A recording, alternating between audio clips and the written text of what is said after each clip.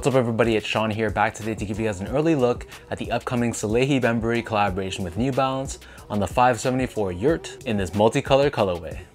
Today's video is sponsored by the good people from Hefeluxx. So Hefeluxx is my favorite go-to sneaker insoles, and they sell eTPU insoles, which essentially is the same material as Adidas Boost.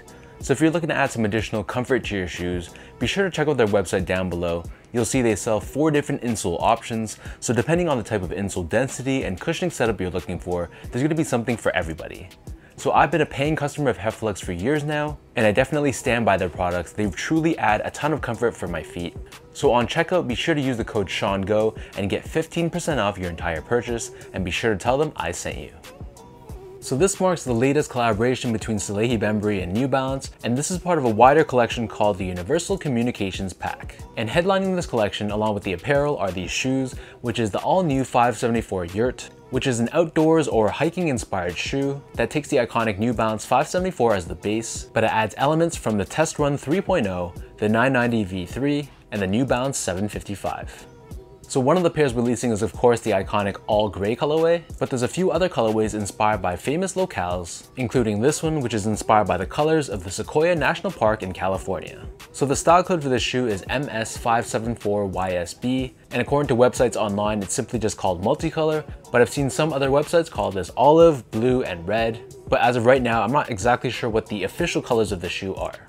Either way though, this pair is going to retail for a price of 150 US dollars, which is roughly 190 Canadian. And just like the other Salehe Bembury collaborations, this one is also made in Vietnam, not in US or the UK. So first off, here's a quick look at the box. And just like the other Salehe Bembury collaborations, this comes in a very beautiful box with images of scenic landscapes found throughout. So on the top, you can see here it says yurt. There's an image of a yurt, which is basically like a tent. And correct me if I'm wrong, but I believe the different panels of this shoe depict the different colorways of the shoe, with the top lid being Sequoia National Park. The side here, I believe this is Antelope Valley. And the image on the other side, I believe this one is Utah. As for the shoes, so obviously this is a very chunky shoe and it has some serious hiking and outdoor vibes to it. Taking a look at the toe box, the base layer here is constructed out of this mesh material in this diamond shaped pattern, and overlaid on the sides we have these 3M hits, which is done in this pale burgundy finish. Overlaid on top of this, we have this very hairy suede, which is done in this olive color, and to the touch, the suede feels very high quality. Overlaid on the front toe cap on the medial side, we have this dimpled burgundy colored leather, which has a bit of a rough texture to it, and then covering the mid panel of both sides of the shoe, we have more of that long haired olive colored suede. Stitched on top of this, we have the New Balance N logo, which is done in the textured olive colored leather with an underlying layer of leather in red. Next to this, we have another hit of this pale burgundy or pale brown colored leather, and then protruding out of this, we have a Salehe Bembury tag. Surrounding the top portion of the ankle collar area, we have more of that navy blue colored mesh that we saw earlier on the toe box. And then underneath this, wrapping around the back end of the shoe, we have more of that long-haired olive-colored suede. Surrounding the bottom of the back heel, we have this tan-colored TPU heel clip, which gives you added structure and support for the back end of the shoe. And definitely the strangest and the most controversial design aspect about this shoe can be found in the center of the back heel. So attached to the back heel, we have an actual functional whistle, and it actually works. Moving on, so for the laces, these come with these flat green or olive colored laces. And then underneath this, the tongue is constructed out of a combination of nylon and suede. So you can see running down the center, we have this navy blue nylon, and we have this New Balance Yurt 574 tag in the center. And then the outer edges of the tongue are left in that olive colored suede that we saw on the sides of the shoe.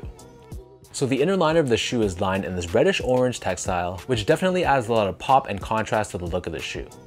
And then moving on to the insoles, these come with their standard foam line insole. It has this raised and bumpy texture to it, which is really unique. And then stamped on the heel, we have both New Balance and Salehe Bembury branding. So the upper of the shoe sits atop this very chunky, ABZORB foam midsole. The midsole itself looks like it's almost segmented into pieces, and on the lateral side only, on the top row of the midsole itself, we have these navy blue rubber pods, which is New Balance's ABZORB SBS technology. Underneath the heel, this tan hit, this is New Balance's roll bar technology, which is essentially a TPU insert in the midsole, which gives you a ton of support and sturdiness on the shoe, and it's there in place to help people that overpronate. And on the back heel, you'll see the foam is super chunky, and we have these two little pill-like protrusions sticking out the midsole. Flipping the shoe over to the bottom, so here we have your outsole, which is constructed out of this black colored rubber, with a speckling of this brown paint found throughout. This is a very rugged trail-like outsole with a very aggressive traction pattern, especially on the forefoot. And on the back heel, you'll see we have New Balance branding, but the rubber on the back heel actually protrudes outwards, and this is visible when you look at the shoe from the top down. And in the middle of the outsole, we have this rectangular cutout, which reveals this tan-colored New Balance branding, and this helps with torsional rigidity and mid-foot support. So that breaks down the look and the construction of this 574 yurt. For those wondering how these fit, so the unfortunate news is I was unable to get my size, so I can't really give you guys an accurate representation of how these actually fit. But if it was up to me, I'd probably get my normal 574 size, which is a half size down or a size nine and a half. But again, this is a complete guess, so honestly, they could fit a lot bigger, they could fit a lot smaller. So unfortunately, I can't really help you guys too much from that department. Moving on to the comfort though, so this shoe is pretty comfortable overall. To be honest, when I saw images of this shoe and I saw how chunky the midsole was, I was expecting this to be super, super comfortable, but unfortunately it's not amazingly comfortable, but it does its job. So I felt like because of the roll bar on the back heel, it definitely nullifies the squishiness and the softness of the midsole, and the majority of the comfort was coming from the forefoot. However, the materials on the upper felt very soft and broken in straight out of the box, so all things considered, I'd say it still was pretty comfortable from a comfort standpoint, it just wasn't blowing my mind. Last but not least, from an overall quality and craftsmanship standpoint, all in all, I was very impressed. Again, this is not a made in USA or made in UK pair. However, a lot of the made in Asia pairs from New Balance have been really high quality lately, and this one I feel is no exception. There's such a wide variety of materials from the leathers, the suedes, all that stuff combined. I thought all of it was very high quality. And in terms of the overall build, I had no noticeable flaws on my pair at all. I felt like it was a very well put together shoe from New Balance.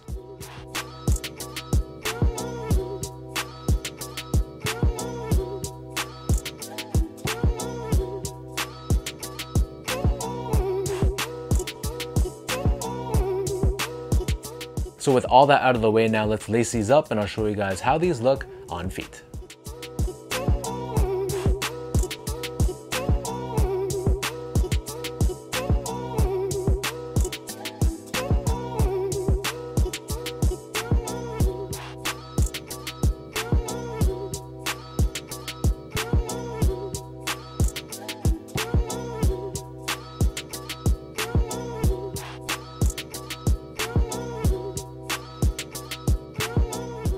From a design standpoint, I'll be honest, this is not my favorite New Balance silhouette. It's definitely very eccentric and it's very unique. And I just think this colorway specifically has too much of that trail or outdoorsy vibe. I think my personal favorites are gonna be the all gray pair and maybe the white, blue, and pink, which I believe is the Utah pair, and the greenish blue pair coming in at third. Still, I appreciate Salehe Bembury for really pushing the envelope and giving us something new and fresh. I just think this silhouette and this colorway specifically doesn't really match my style. So let me know in the comment section down below what you guys think about the Salehe Bembury New Balance 574 Yurt. What are your overall thoughts on the silhouette, and what are your thoughts on this colorway specifically? And when these drop on October 16th, are you guys planning on copying these? And if you copy these, is this gonna be a flip or something you're gonna hold on to and resell down the road? If you guys like this video, be sure to like, comment, and subscribe to this channel if you haven't yet. You can follow me on Instagram at sgo8, check me out on Twitter at sean.go, and visit my website at seango.ca. I also have a podcast called the Channel 8 Podcast, and I upload the video version right here onto my YouTube channel. But if you want to stream just the audio only version, you can check it out on most of your major podcast platforms, including Spotify, Apple, and Podbean. So thank you guys so much for watching. Hopefully you guys enjoy this review, and I'll catch you guys all in the next one.